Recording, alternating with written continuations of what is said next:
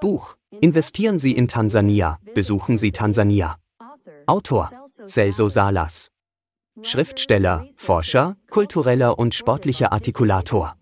Aktivator politischer Strategien und Austausch afrikanischer Länder mit der Welt.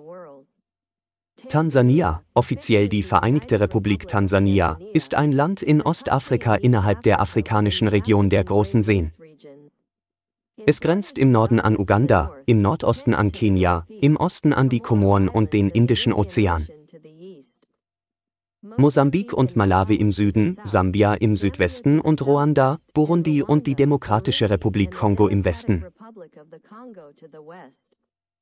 Der Kilimanjaro, Afrikas höchster Berg, liegt im Nordosten Tansanias.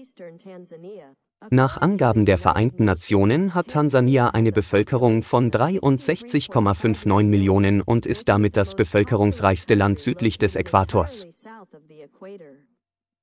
Tansanias Bevölkerung setzt sich aus etwa 120 ethnischen, sprachlichen und religiösen Gruppen zusammen.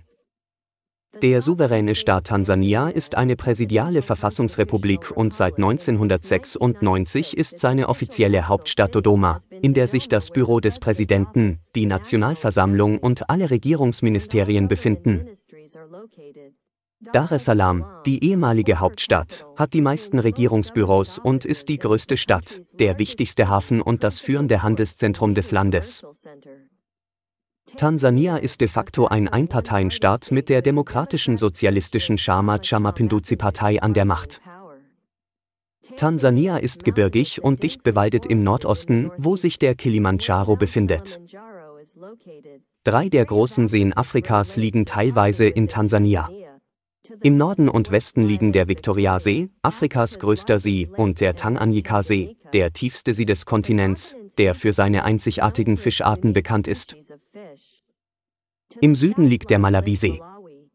Die Ostküste ist heiß und feucht, mit dem Sansibar-Archipel direkt vor der Küste.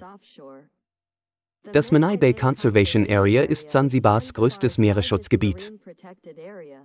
Die Colombo Falls, am Colombo River an der sambischen Grenze gelegen, sind der zwei höchste ununterbrochene Wasserfall Afrikas. Das Christentum ist die größte Religion in Tansania, aber es gibt auch bedeutende muslimische und animistische Minderheiten. In Tansania werden über 100 verschiedene Sprachen gesprochen, was es zum sprachlich vielfältigsten Land Ostafrikas macht. Das Land hat de jure keine Amtssprache, obwohl die Landessprache Suahili ist. Swahili wird in parlamentarischen Debatten, in den unteren Gerichten und als Unterrichtsmedium in der Grundschule verwendet. Englisch wird im Außenhandel, in der Diplomatie, vor höheren Gerichten und als Unterrichtsmedium in der Sekundar- und Hochschulbildung verwendet. Obwohl die tansanische Regierung plant, Englisch als primäre Unterrichtssprache einzustellen, wird es als optionaler Kurs angeboten. Ungefähr 10 Prozent der Tansanier sprechen Swahili als erster Sprache und bis zu 90 Prozent sprechen es als zweiter Sprache.